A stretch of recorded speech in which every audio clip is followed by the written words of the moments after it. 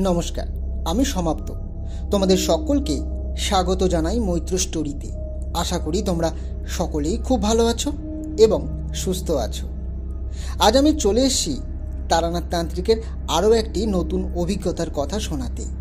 সেই অভিজ্ঞতার নাম ডাকিনী। তারানাথ একবার এক ডাকিনীর কবলে পড়েছিল আর তারপর ঠিক কি হয়েছিল সে ঘটনায় আজ বলতে চলেছি। আর হ্যাঁ তোমরা কিন্তু চ্যানেলটি সাবস্ক্রাইব করে রেখো আর একটা লাইক করে দিও। তাহলে আর দেরি করছি না। সোজা গল্প শুরু করছি।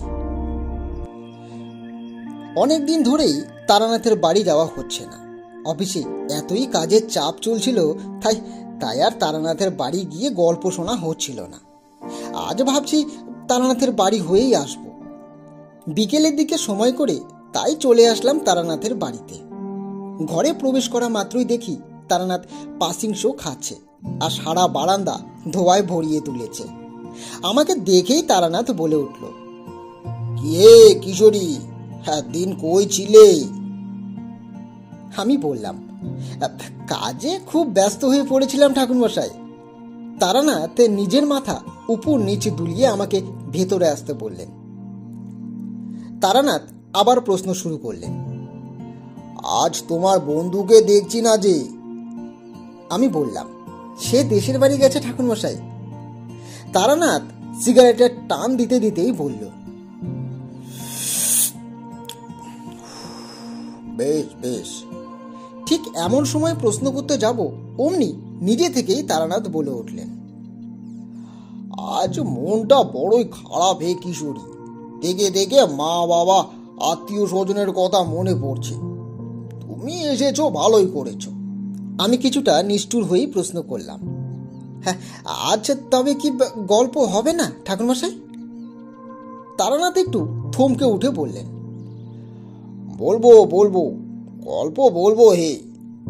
দেখি, যদি গল্প বলার মাধ্যমে মনের অস্থিরতাটাকে একটু দূর করতে পারি। এই বলে তারানাথ শুরু করলেন।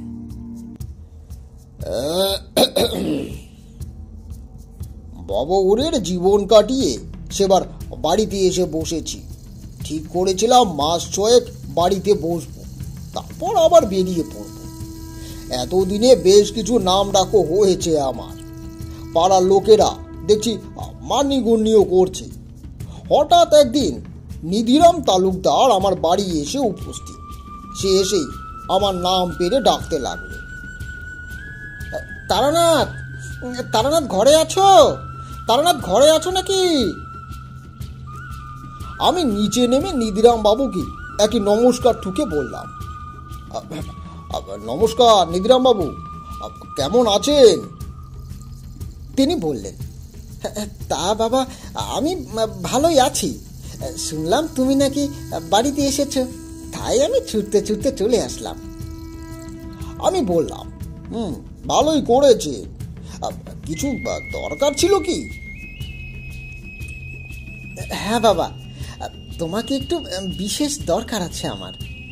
আমার নাতনির বাড়িতে যেতে হবে তোমাকে, পাথর প্রতিমাতে। আমি বললাম বাবা, কোনো কিছু বা হয়েছে নাকি? তিনি বললেন হ্যাঁ বাবা, বড়ই দুর্বিপাকে পড়ে তোমার কাছে এসেছি। তুমি আমায় ফেরাবে না তা আমি জানি। আমি লজ্জিত হয়ে বলে উঠলাম, আহা, না না, অমন করে বা বলছেন কেন? আমি আমার যথাসাধ্য চেষ্টা করব। আসুন ঘরের ভেতরে আসুন তো, জল খাবার খান, তারপর না হয় শুনছি। নিধিরাম বাবু ঘরে ঢুকে বসলেন, ঘরে বাবাও বসেছিলেন। নিধিরাম বাবুকে দেখে বলে উঠল বাবা এসো হে নিধি এসো এসো। নিধিরাম বাবু বাবাকে দেখে নমস্কার জানালেন। মা এক গ্লাস জল নিয়ে এসে নিধিরাম বাবুকে দিলেন। নিধিরাম বাবু পুরো জলটা শেষ করে মায়ের দিকে তাকিয়ে বললেন ধন্যবাদ মা ঠাকুর ধন্যবাদ। তারপর আলতো করে নিজের পিঠটা চেয়ারে হেলান দিয়ে বলতে শুরু করলেন। আমরা সবাই ওনার দিকে চেয়েছিলাম। বলা বাহুল্য, আমরা সবাই একটু স্তম্ভিত। বাবা তো বলেই ফেললেন কে নিধি, তোমার কি কিছু হয়েছে নাকি? আরে বলে ফেলো, কি হয়েছে বলে ফেলো? নিধিরাম বাবু মাথা নাড়িয়ে নাড়িয়ে বলতে লাগলেন, দেখুন, আপনার সেলের কথা এই গ্রামের লোকের মুখে মুখে ঘুরে। অনেক তো হলো। তাই শেষবার আপনার ছেলের কাছেই আসলাম। শেষমেশ সে যদি কিছু করতে পারে, তা বাবা সমস্যাটা এই হয়েছে যে চার বছর আগে আমার নাতনির বিয়ে হয় পাথর প্রতিমা গ্রামে। সব ঠিকই যাচ্ছিল, বুঝলেন? তারপর চার মাস আগে থেকেই সমস্যা তৈরি হয়। ব্যাপারটা ঠিক আপনাদের খুলে বলতে পারব না তিনি আমাদের দিকে তাকিয়ে আবার বলতে লাগলেন, তারানাথ তারানাথ সেখানে না গেলে, তার আগে কিছু বলা যাচ্ছে না বাবু। তবে এটুকু বলতে পারি, যা ঘটছে তা একেবারে যুক্তি দিয়ে ঠিক বিচার করা সম্ভব নয়।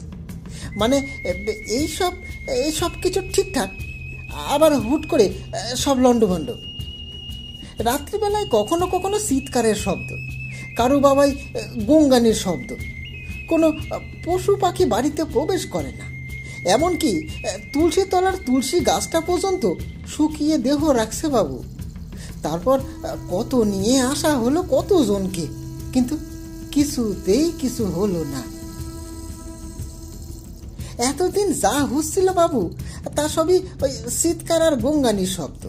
এখন তো রীতিমতন শরীরের উপর দিয়ে যাচ্ছে। ঘরের মেয়েদের চুল ধরে টানাটানি। হঠাৎ হাতে বা ঘাড়ে খামসানোর দাগ। ও বাড়িতে কিছু হচ্ছে বাবা। তুমি তুমি একটু দেখে দাও তারানাথ, তুমি দেখে দাও বাবা। আমি সব কথা শুনে নিধিরাম বাবুকে বললাম বুঝেছি বুঝেছি। আপনি বাড়ি যান, আমি চেষ্টা করছি।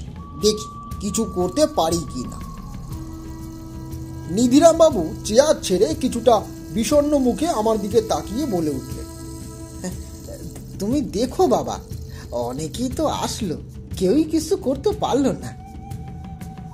আমি তখন বুঝতে পারছি, আগামী দিনে পরিবারটার উপর বেশ ঝুঁকি আসতে চলেছে। নিধিরাম বাবু চলে যাওয়ার পর বাবা আমার দিকে তাকিয়ে বললেন রে তারানাথ কি ভাবছিস?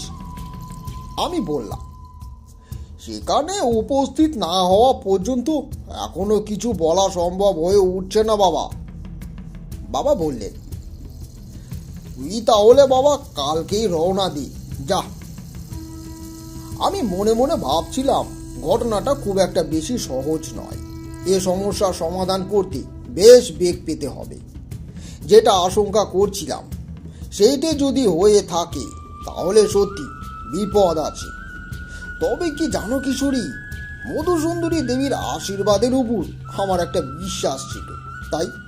তার কথা স্মরণে রেখে দিলাম কুয়োয় ঝাঁপ মেরে। জানি তিনি শেষকালে উদ্ধার করবে আমায়। পরদিন নিধিরাম বাবুর কথা মতো তাকে সঙ্গে নিয়ে বেরিয়ে পড়লাম পাথর প্রতিমার উদ্দেশ্যে। বাড়ি পৌঁছতে পৌঁছতে দুপুর গড়িয়ে গেল। বাড়ির কাছে আসা মাত্রই লক্ষ্য করলাম একটা কালো আবছা অন্ধকার। বাড়িটাকে ঘিরে ধরে আছে। দেখেই বুঝতে পারলাম, বিপদ মাথার উপরে নাচছে। দরজা দিয়ে উঠোনে প্রবেশ করতেই একটা পচা গন্ধ নাকে ভেসে আসলো। এ গন্ধ সবাই পাবে না, একমাত্র আমি পাবো। বুঝতে পারলাম, সাধারণ কোনো পিয়ের কাজ এ নয়। এ তার থেকেও বেশি শক্তিধর, কিন্তু আসলে কি সেটা তখনও বলা সম্ভব হয়ে উঠছিল না। তবে এত সব কিছুর মধ্যেও ঘরের মা বোনেরা বড়ই আদর যত্নে আমায় নিজের ঘরে তুলে নিলেন। বলা বাহুল্য দুপুরের খাবার দরবারে আয়োজনও বেশ ভালোই হয়েছিল। দুপুরে খাবার সেরে ওঠার পর নিধিরাম বাবু বললেন তারানাথ অনেকটা পথ আসছি। এখন শরীরটাকে বিশ্রাম দেওয়ার বিশেষ প্রয়োজন আছে। এখন বিশ্রাম করো বাবা তুমি। ও বেলা না হয় বসে সব কথা শোনা যাবে ক্ষণ ক্লান্তিতে আমারও শরীর প্রায় নিমজ্জিত। তাই বেশি কথা না বাড়িয়ে একটু জিরিয়ে নিলাম আমি। ও বেলা একটু দেরি করেই উঠলাম। বাইরের বারান্দায় এসে দেখি নিধিরাম বাবু হুকোয় আগুন তুলছেন। পরিবারের আর সদস্যরা সেখানেই উপস্থিত। নিধিরাম বাবু আমায় দেখে বললেন এসো এসো, তারানাথ এসো, এদিকে এসো। তা বাবা, ও বেলা সব ঠিকঠাক ছিল তো? আমি নিধিরাম বাবুকে বললাম, আহ, আমাকে আমাকে লজ্জা দেবেন না। নিধিরাম বাবুর নাতনির নাম হচ্ছে নীলিমা, আর তার স্বামীর নাম বিপিন। নীলিমা আমায় বলল, দাদুর মুখে আপনার কথা অনেক শুনেছি। আপনি হয়তো জানেন অনেকেই এসেছে আমাদের এই সমস্যার জন্য। কিন্তু কিছুতেই কিছু কেউ করতে পারেনি। এখন এখন আপনি ভরসা ঠাকুরমশাই। আমি ওর কথা শুনে জবাব দিলাম। আমি এমন কিছু নই রে মা, সবই মধুসুন্দরী দেবীর ইচ্ছে। আমি নীলিমাকে কিছু প্রশ্ন করলাম। আচ্ছা এই ঘটনাগুলো ঠিক কবে থেকে শুরু হয়েছে বলতে পারবে? নীলিমা বলল, ওই তিন চার মাস আগে অবধি সব ঠিকঠাক ছিল, কিন্তু তারপর থেকেই উপদ্রবটা শুরু হলো ঠাকুরমশাই। একদিন রাত্রে হঠাৎ চিৎকার। প্রথমে বুঝতে না পেরে আমরা সবাই নিজেদের ঘর থেকে বেরিয়ে এলাম। উমা, কেউ কোথাও নেই। অথচ সবাই সে চিৎকার শুনতে পেয়েছি আমরা। আমি বুঝলাম চিৎকারটা ঠিক কোন দিক থেকে আসছিল। আমি বললাম আচ্ছা বাবা, চিৎকারটা কোন দিক থেকে আসছিল? নীলিমা বলল, ঠিক কোনো বিশেষ জায়গা দিয়ে চিৎকার আসছিল না, ঠাকুরমশাই। সারা বাড়ি জুড়ে চিৎকার শোনা যাচ্ছিল। ঠিক এমনভাবেই গঙ্গানির আওয়াজ। তারপর শুরু হলো হাসির। তারপর একদিন দেখলাম আমার পিঠের কাছে খামচির দাগ। আমি লক্ষ্য করিনি অবশ্য। আমার লক্ষ্য করেছিল আমার শাশুড়ি। আমার শাশুড়ি একদিন আমাকে বলল, বৌমা, তোমার পিঠে কে খামচি দিয়েছে? তখন আমি টের পেলাম। এমন করতে করতে শুধু আমার নয়, আমার ননদ যা সবার শরীরেই খামচি আর আঘাতের দাগ। আমি সবটা শুনলাম। কিছু জিনিস মিলে যাচ্ছিল, কিন্তু কিছু নয়। তাই কাজটা ঠিক কি উপায়ে শুরু করব বুঝতে পারছিলাম না।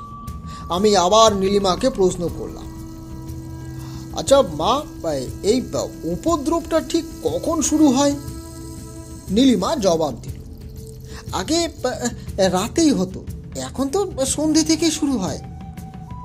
আমি আবার বললাম, কোনো বিশেষ সময়ে কি উপদ্রবটা বাড়ে?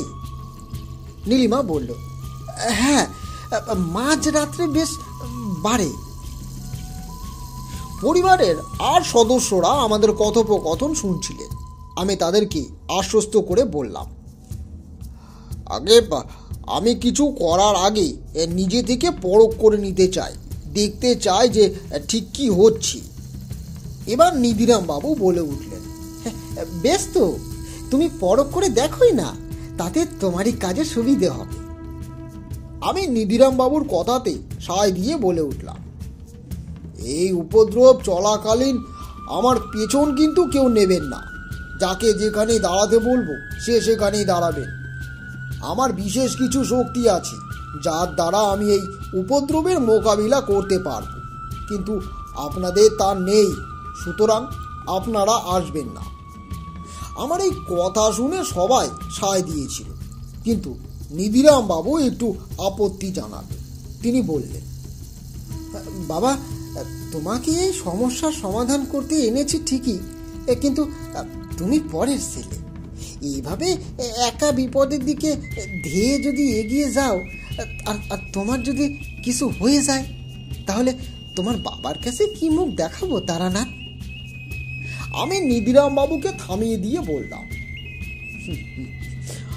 আমি যা পারব, আপনি তা পারবেন না। আমি যেখানে পারক, আপনি সেখানে অপারো বুঝেছেন?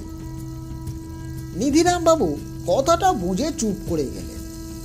কিশোরী, আমি আগেই তোমায় বলেছিলাম যে কাজটা অতটা সহজ হবে না। কারণ অনেক কিছুই মিলছে, আবার কিছুই মিলছে না।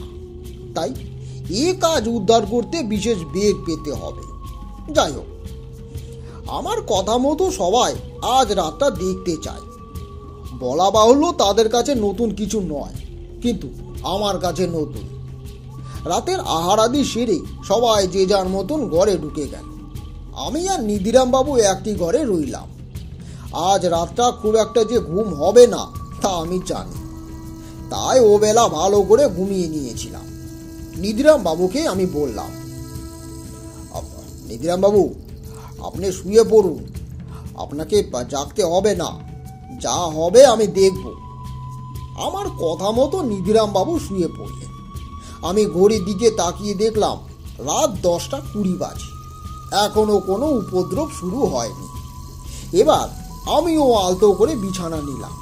কিছুক্ষণ পরে বুঝতে পারলাম, বাইরে ঝড় উঠছে। কিন্তু এ সময় ঝড় ওঠার কোনো কারণ দেখছি না। হঠাৎ ঝড় উঠল কেন? আমি উঠে দরজা খুলে উঠোনে এসে উপস্থিত হলাম। বুঝলাম, এ ঝড়টা সীমিত একটা পরিসরের মধ্যে সীমাবদ্ধ। বাড়ির আশেপাশের গাছগুলোতেই শুধু জোড়ো হাওয়া দিচ্ছে, কিন্তু দূরের দিকে কোনো গাছের পাতায় নড়ছে না। আমি আবার ঘরের ভেতরে চলে আসলাম। দরজার ছিটকিনিটা দিচ্ছি ঠিক এমন সময় তিন তলার উপর দিয়ে একটা কলসি ঢং ঢং শব্দ করে নিচে গড়িয়ে পড়ল। আমি আবার ছিটকিনি খুলে বেরিয়ে আসলাম। উঠোনে নেমে দেখি কলসিটা তখনও গড়াগড়ি খাচ্ছে। পেছন ফিরে দেখি নীলিমাও বেরিয়ে এসেছে। আমায় দেখে নীলিমা বলল, দেখেছেন কাকাবাবু? এই শুরু হলো এই শুরু হলো। এবার এবার সারা রাত চলবে তাণ্ডব নৃত্য। আমি নীলিমাকে বললাম, আহ যাও গিয়ে শুয়ে পড়ো। কেউ না ডাকা পর্যন্ত ঘরের বাইরে বেরোবে না। আচ্ছা আচ্ছা আচ্ছা ঠাকুরমশাই। এই বলে নীলিমা ঘরের ভেতরে চলে গেল। কলসিটা তখনও পা খেতে খেতে নড়ছে। আমি গিয়ে কলসিটাকে হাত দিয়ে থামালাম। কলসিটাকে ওখানেই দাঁড় করিয়ে রেখে ঘরের দিকে আমি ফিরলাম। হঠাৎ কলসিটা আবার নড়ে উঠল। একই জায়গায় আবার পা খেতে শুরু করল। আমি তখনই কলসির কাছে এসে কলসিটাকে থামাতে যাব। সঙ্গে সঙ্গে একটা দুমকা হাওয়া কলসিটাকে উড়িয়ে নিয়ে বাড়ির বাইরে নিয়ে গিয়ে ফেলি তার সাথে অফুরন্ত ঝড়। সে ঝড়ে নারকেলের গাছগুলো বিভৎসভাবে দুলে উঠছে আর শো শো করে বাতাসের শব্দও হচ্ছে। সেই ঝড়ে আমার দুটি জামার আমার চুল হাওয়ায় দুলে উঠছে কিছুতেই সামলাতে পারছি না। আমি ওই অবস্থাতেই কোনো মতে ঘরে প্রবেশ করলাম। হাওয়া তীব্র ঝাঁকুনিতে ঘরের দরজার ছিটকিনিটা আটকালাম, তবু মনে হচ্ছে কে যেন জ্বরের আবেগে দরজায় তীব্রভাবে লাথির উপর লাথি মেরেই যাচ্ছে। এরই মধ্যে নিধিরাম বাবু কখন উঠে বসেছে আমি খেয়ালই করিনি। আমার দিকে কাদো কাদো মুখ করে বললেন দেখেছ দেখেছ বাবা জীবন, কি অবস্থা? আমি নিধিরাম বাবুকে শান্ত করিয়ে বললাম, আহ, শান্ত হন শান্ত হন নিধিরাম বাবু আমি আশাতে যে সে খুব বিরক্ত হয়েছে, তা বোঝা গেল, বুঝেছেন? দরজায় তখনও আবার দাপট এসে লাগছে। আমি আর দেরি না করে ঘরে বসেই ছিন্নমস্তা দেবীর হোম শ্লোক চোখ বন্ধ করে আওড়াতে লাগলাম। প্রথমে ঘরের দরজার ঝাপটানিটা বন্ধ হয়ে গেল। তারপর আস্তে আস্তে বাইরের ঝড়টাও। আমি শ্লোক শেষ করেই নিধিরাম বাবুর দিকে তাকালাম। নিধিরাম বাবু আমার দিকে ভক্তি ভরে তাকিয়ে, জয় মা জয় মা। এই বলে চিৎকার করে উঠলেন। সকালে উঠে আমি সবাইকে জানালাম কালকের কথা। বুঝলাম সবাই ঘটনাটা জানি, কিন্তু কেউ সাহস করে ঘরের বাইরে আসতে পারেনি, একমাত্র নীলিমা ছাড়া। আমি নিধিরাম বাবুকে বললাম নিধিরাম বাবু আজ দুপুরে একটি হোম যজ্ঞ করতে চাই আমি। আপনি ব্যবস্থা করুন, কিন্তু এ যজ্ঞ এ বাড়ির মধ্যে সম্ভব নয়। কোনো পবিত্র স্থানে করতে হবে কিন্তু। এই যেমন কোনো মন্দিরের প্রাঙ্গণ অথবা কোনো শ্মশানে। নীলিমার বর বিপিন বলে উঠল তখন ঠাকুরমশাই, আপনি আমাদের গ্রামের শ্মশানে যোগ্য করতে পারেন। আপনাকে কেউ বাধা দেবে না। আর তাছাড়া এ গ্রামের সবাই আমাদের অবস্থার কথা জানে ঠাকুরমশাই। আমি কোনো কথা না বাড়িয়ে নিধিরাম বাবু আর বিপিনকেই বললাম। বাহ বাহ, বেশ। আপনারা ব্যবস্থা করুন। আমি এক্ষুনি কি কি লাগবে তা লিস্ট করে দিচ্ছি। আর সবাইকে এও জানিয়ে দিলাম, যোগ্য না হওয়া পর্যন্ত মুখে কিছু দেবেন না।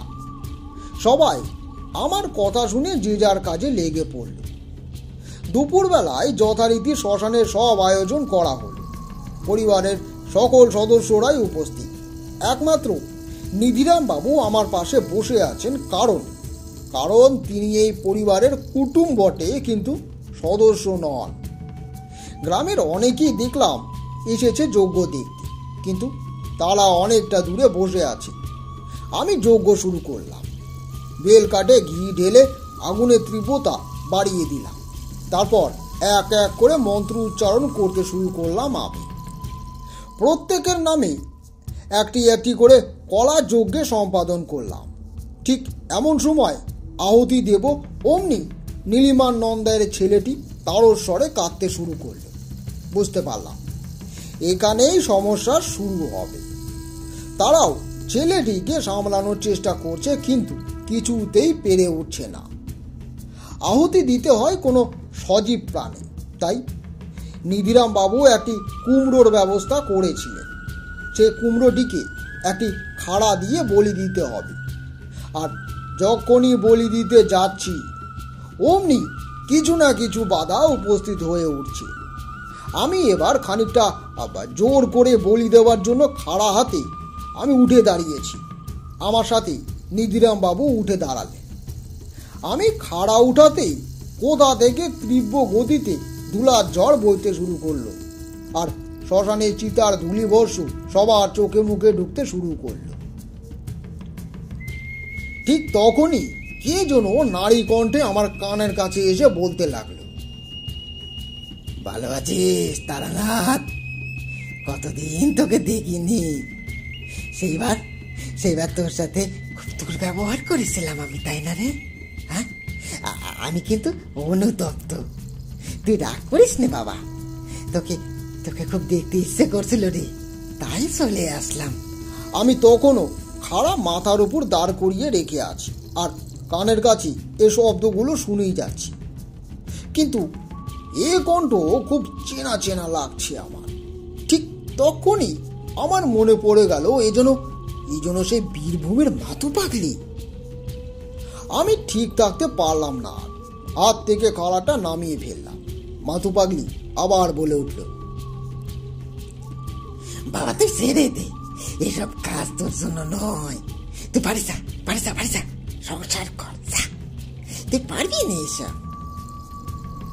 এবার আমার রাগ ধরে গেল। আমি কোনো কথা না শুনে আবার খাড়া মাথার উপর চড়ালাম। অমনি আবার দমকা ধুলো হাওয়ায় চারিদিক ভরে গেল।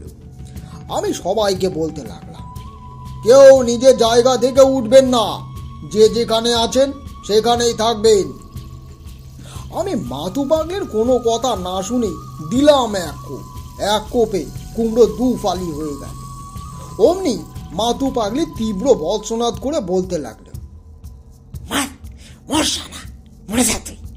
তোর দ্বারা কিচ্ছু হবে না। যেইবার তুই যেইবার তুই বিমনি খেয়ে পড়েছিলি এবারও তুই পড়বি এবারও পড়বি তুই। আসছে বড় আসছে। আহ, লাকসাই এদের বাঁচাতে আসছে। মরবে মরবে। সবাই মরবে। কেউ বাঁচছে না, কেউ না। সবাই মরবে। এই বলেই মাতু পাগলি তাচ্ছিল্যের সুরে হাসতে শুরু করল। তারপর আর তার কণ্ঠ শোনা গেল না। ধুলোর ঝড়টাও কমে আসলো। নীলিমার নন্দায়ের ছেলেটাও কান্না থামিয়ে দিল। অনুষ্ঠান শেষ হওয়া মাত্র আমি শান্তির জল ছেটালাম আর কিছুটা রাখলাম বাড়ির চারপাশে ছেটানোর জন্য। তারপর সবাইকে একটি করে লাল সুতো বেঁধে দিলাম। অনুষ্ঠান শেষ হয়েছে ঠিকই, কিন্তু আমার মনে ছিল প্রবল বিস্ময়। হঠাৎ মাতু পাগলি আসলো কেন? এত দিন পরে তার আমাকে ঠিক এ সময়ে মনে পড়ল কেন? আমি কোনো উত্তরই খুঁজে পাচ্ছিলাম না। তবে তবে কি মাতু পাগলি কোনোভাবে এই ঘটনা প্রবাহের সাথে জড়িত? কি জানি বাবা। এ পাগলিকে আমার বিশ্বাস নেই। এ পাগলি সব কিছু করতে পারে। নিম্ন সাধনার রানী এই পাগলি। তুমি তো জানো কিশোরী, তোমাকে তো বলেছিলাম সেই ঘটনা। কীভাবে এই মাতু পাগলি আমায় আবার নাকানি চোবানি খেয়েছিল? কি খপরেই না পড়েছিলাম সেদিন। গ্রামের মানুষেরা যদি আমায় উদ্ধার না করতো, তবে তবে আর আজ আমি জীবিত থাকতাম না। যাই হোক অনুষ্ঠান শেষ হলে পরে বাকি জলটুকু নিয়ে বাড়ির চার ধারে ছড়িয়ে দিলাম। এতে একটা গণ্ডিও হয়ে গেল। এতে আর বাইরের বিপদ ঘরে প্রবেশ করবে না। আর আজ সবাইকে নিরামিষ আহার করতে বললাম। আজ রাতে বিশেষ কোনো সমস্যা হলো না, তবে ঝড়টা যথারীতি চলছিল। আমি আর নিধিরাম বাবু আজ শুয়ে পড়লাম। কাল থেকে শুরু হবে আসল পর্ব। কাল দেখতে হবে কার এই বাড়ির উপর দৃষ্টি পড়েছে আর কেনই বা পড়েছে। কারণ যার সঙ্গে আমার বিবাদ লাগবে, তার পরিচয় জানাটা অত্যন্ত প্রয়োজন। সকালবেলা উঠেই আমি রওনা দিলাম আর সবাইকে বলে দিলাম, আমি না আসা পর্যন্ত কেউ যেন সন্ধ্যের পর না বেরোয়। কিছু বিশেষ দ্রব্যগুণের দরকার হয়ে পড়েছে। সারাটা দিন ঘুরে ঘুরে দ্রব্য সংগ্রহ করতে কম হয়রানি পেতে হলো না। এমন অনেক কিছুই দরকার হয়ে পড়েছিল যেগুলো খুব সহজে পাওয়া সম্ভব ছিল না। রাত আন্দাজ তখন কটা হবে? ওই এগারোটা? আমি সবে গ্রামের চৌহদ্দিতে প্রবেশ করেছি। হঠাৎ শুনতে পেলাম আ, পিছন থেকে কোনো এক মেয়ে আমায় ডাকছে। আমি পেছন ফিরে তাকিয়ে দেখলাম একটি ওই সাত আট বছরের মেয়ে আমার নাম ধরে ডাকছে। আমি তাকে জোর গলায় বললাম, কে? কে তুমি? এত রাতে এখানে কি করছ? মেয়েটি বলল, তুই আমার সামনে আয়। আমি বললাম, না, তুমি আমার সামনে এসো। মেয়েটি বলল, আমি এই গ্রামে প্রবেশ করতে পারব না রে। তার থেকে তুই আমার কাছে আয়। আমি ভাবলাম, কে মেয়েটি? এত রাতে আমার নাম ধরে তুই তুকারি করে ডাকছে। আর সত্যি তো, মেয়েটি এই গ্রামের সীমানার বাইরে দাঁড়িয়ে রয়েছে। ওই সময় এরকম ঘটনা অন্য কারও সাথে ঘটলে ভয় পেয়ে যেত। কিন্তু আমার কেন জানি না মনের ভেতর সন্দেহ থাকলেও ভয়টা ঠিক হচ্ছিল না। আমি আস্তে আস্তে মেয়েটির দিকে এগিয়ে আসলাম। মেয়েটির কাছে আসা মাত্রই তার ওই রূপ দেখে আমি স্তম্ভিত হয়ে গেলাম। কি সুন্দরী। রূপ যেন ঝলকে পড়ছে। মেয়েটি আমায় বলল, তুই যে কাজ করতে নেমেছিস, তার প্রশংসা করতেই হয় রে। আর আমার বিশ্বাস, তুই উদ্ধার করতে পারবি। তোকে একটা মন্ত্র দি কানে কানে, আয়, কাছে আয়। আমি মেয়েটির দিকে তাকিয়ে আচ্ছন্ন হয়ে দিলাম কানটা তার মুখের সামনে ধরে। আর অমনি মেয়েটা এক হুম শব্দ করে মন্ত্র দিতে শুরু করল। আহা, কি অপূর্ব তার মন্ত্র উচ্চারণ। আমি মন্ত্রমুগ্ধের মতন চোখ বন্ধ করে শুনতে লাগলাম। মন্ত্র পড়া শেষ হতেই সে বলল, তুই নিজেই বুঝতে পারবি কখন এই মন্ত্রটা পড়তে হবে। আমি চোখ খুলে যেই ওর পরিচয়টা জানতে যাব, অমনি দেখি মেয়েটা সেখানে নেই। আমি স্তম্ভিত হয়ে বাড়ির পথে রওনা দিলাম। বাড়িতে প্রবেশ করে দেখলাম সবাই ঠিকই আছে। শুধু নন্দায়ের ছেলেটির দুপুর থেকে জ্বর শুরু হয়েছে। আমি নিধিরাম বাবুকে গঙ্গা জল আনতে বললাম। নিধিরাম বাবু গঙ্গা জল নিয়ে আসলেন। সেই জল আমি আমার গায়ে ছিটিয়ে নিলাম আর আর বিপিনকে বললাম, একটা শাবল আনতে। বিপিন একটা শাবল আনতেই তাকে নিয়ে বাড়ির দক্ষিণ পূর্ব কোণে একটি গর্ত খুললাম সেখানে। সেখানে একটি লেবু আর দুটো পান কিছুটা সিঁদুর লাগিয়ে মন্ত্র জপ করে পুঁতে দিলাম। তারপর ঘরে এসে সবাইকে জানালাম, কাল রাত্রিটায় শেষ রাত। আপনারা সবাই শুয়ে পড়ুন, কাল অনেক ঝুঁকি যাবে। সকালে উঠে প্রথমেই আমি নন্দাইয়ের ছেলের মাথায় একটি মন্ত্রপুত ছায়ের টিকা লাগিয়ে দিলাম আর নন্দাইকে বললাম, যা কিছু হয়ে যাক না কেন, তুমি তোমার ছেলেকে ছেড়ে আজ কোথাও যাবে না। কারোর হাতে দেবে না, সে যেই হোক না কেন। মাতৃশক্তি সবচেয়ে বড় শক্তি। এ শক্তিকে কেউ টালতে পারে না। বিকাল হতে না হতেই আমি বাড়ির উঠোনে একটি বেদি কেটে যজ্ঞ শুরু করে দিলাম আর সবাইকে একটি গণ্ডির মধ্যে প্রবেশ করিয়ে দিলাম। কোনো প্রকারে তারা যেন এই গণ্ডি থেকে না বেরোতে পারে। তারপর উচ্চ স্বরে মন্ত্রপাঠ শুরু করে দিলাম আমি। বাইরে প্রবল বেগে ঝড় শুরু হয়েছে। আমি মন্ত্রপাঠ না থামিয়ে বরং যজ্ঞে আরও বেশি করে ঘি ঢেলে চিৎকার করে মন্ত্রপাঠ শুরু করলাম। আমার মন্ত্রপাঠ শেষ হতেই জোরে জোরে তার আহ্বান করতে লাগলাম। বললাম, কে? কে তুই? কেন এই বাড়ির ক্ষতি করতে এসেছিস? সামনে আয়। সামনে আয় বলছি। অমনি দেখতে পেলাম একটা কালো ছায়ামূর্তি ফুটে উঠছে ধীরে ধীরে। তারপর আস্তে আস্তে সেই ছায়ামূর্তিটি একটি নারীর রূপ নিতে শুরু করল। ঠিক যেন মনে হলো কোনো মহিলা কালো শাড়ি পরে সামনে দাঁড়িয়ে রয়েছে। সবাই এই দৃশ্য দেখে শিউরে উঠতে শুরু করল। আমি আবার প্রশ্ন করলাম তাকে, কি চাস তুই? সে কোনো কথা না বলে একটি লিক লিখে কালো হাত উঁচু করে আঙুল দিয়ে দোতলার ঘরের দিকে দেখিয়ে দিল। আমি বললাম, কি আছে? আ? কি আছে ওখানে? সে কষ গলায় চিৎকার করে বলল, ওই বাচ্চা ছেলেটাকে আমি নিয়ে যেতে এসেছি। ওকে আমি ওকে আমি নিয়ে যাব। আমি বললাম, আমি থাকতে তুই পারবি না। সে আবার বলে উঠল, তাহলে তুইও মরবি। আমি বললাম সে দেখা যাবে কোন? আগে তোর নামটা বল। সে বলল, আমি কুমলিনী। আমি বললাম, তুই তো কোনো পেজনি নোস, তাহলে তুই কে? সে বলল, আমি ডাকিনি। সেই মুহূর্তে নন্দের ছেলেটি গলা ফাটিয়ে কাঁদতে লাগল। আমি জোলা থেকে একটা কঙ্কালের মুন্ডু বার করে রাখলাম। তারপর একটি চিলের পাখনা দিয়ে সেই মুন্ডুটার চারিপাশে মন্ত্র পড়তে পড়তে ঘোরাতে লাগলাম। অমনি কুমলিনী চিৎকার করতে করতে বলতে লাগল, আমায় ছাড় ছাড় আমাকে! তখন আমি তাকে বললাম, আয়, এই মুন্ডুর ভিতর প্রবেশ কর, আয় আয়। সে বলল না, আমি যাব না যাব না আমি। এইবার আমি সত্যি, আমি বিপদে পড়েছিলাম। একে তো কিছুতেই মুন্ডুর ভেতরে প্রবেশ করাতে পারছি না। হঠাৎ করে আমার মনে পড়ে গেল কালকের সেই মেয়েটির মন্ত্রের কথা।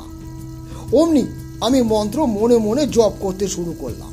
দেখলাম, কুমলিনী সেই মন্ত্র বলের নিজের নিজের অনিচ্ছা সত্ত্বেও সেই মুন্ডুর ভিতর প্রবেশ করতে শুরু করেছে। আমি আবার সেই পাখনা ঘুরিয়ে ঘুরিয়ে মন্ত্র পড়তে পড়তে যজ্ঞের মধ্যে মুন্ডুটিকে ছুঁড়ে মারলাম। আর কুমলিনীর আর্তনাদে সারা ঘর ভেসে উঠল। আর অমনি নন্দের ছেলের কান্না থেমে গেল। সব একেবারে নিস্তব্ধ। মনে হতে লাগল, কোথাও কিচ্ছু হয়নি, যেন চিরশান্তি। আমি এবার সবাইকে আস্তে আস্তে গণ্ডির ভিতর থেকে বেরোতে বললাম, এদিকে নন্দার ছেলের জ্বর সম্পূর্ণ সেরে উঠেছে। আর ঝড় বহুকাল আগেই থেমে গেছে। রাত্রিবেলা খাওয়া দাওয়া সারার পর সবাইকে ঘটনাটা বিবরণ দিলাম। এই পৃথিবীতে নানা রকমের জীব ঘোরাফেরা করে। কাউকে চোখে দেখা যায়, আবার কাউকে দেখা যায় না। কেউ দিনের বেলা বেরোয়, কেউ আবার রাত্রিবেলা। কুমলিনী হলো সেই, আবার সেই জগতের এক প্রাণী। অনেকে এদের সাধনা করেন, নানা রকমের রূপে। কেউ তাদেরকে মাতৃরূপে পেতে চায় তো কেউ আবার প্রেমিক রূপে, কেউ বন্ধু রূপে। আমিও এদের সাধনা করেছি। এই কুমলিনী হলো মাতৃরূপে ডাকিনি। নন্দায়ের ছেলে আগের জন্মে এই ডাকিনী সাধনা করেছিল, তাই এ জন্মে কুমলিনী ওকে সন্তান হিসেবে নিয়ে যেতে এসেছিল। এ ঘটনা শুরু হয়েছে আজ থেকে চার মাস আগে। আমি যদি আজকে না থাকতাম, কুমলিনী আর এক মাসের মধ্যে ওকে নিয়ে চলে যেত। আর আজকে আমি এই মুন্ডুটি বার করেছিলাম, সেটি সেটি জোগাড় করতে আমার কাল বিশেষ বেগ পেতে হয়েছিল। বুঝেছ তোমরা? এই মুন্ডুটি যে সেই মুন্ডু নয়। ওটা হলো একটি ডোমের বড় মেয়ের মুন্ডু, যা ছাড়া এ কাজ সম্ভব ছিল না। একেই বলে দ্রব্যগুণ, বুঝেছ? এই বলে তারানাথ কথা থামালো। আমি একটা গভীর নিঃশ্বাস ছাড়লাম। তারানাথ বলল, সেই রাতে যে বাচ্চা মেয়েটি এসেছিল, সে কে ছিল জানো? সে ছিল মধুসুন্দরী দেবী। ধন্যবাদ। গল্পটি শোনার জন্য। গল্পটি ভালো লাগলে চ্যানেলটি সাবস্ক্রাইব করে একটি লাইক করে দিও। পরবর্তী গল্প খুব শীঘ্রই আসছে।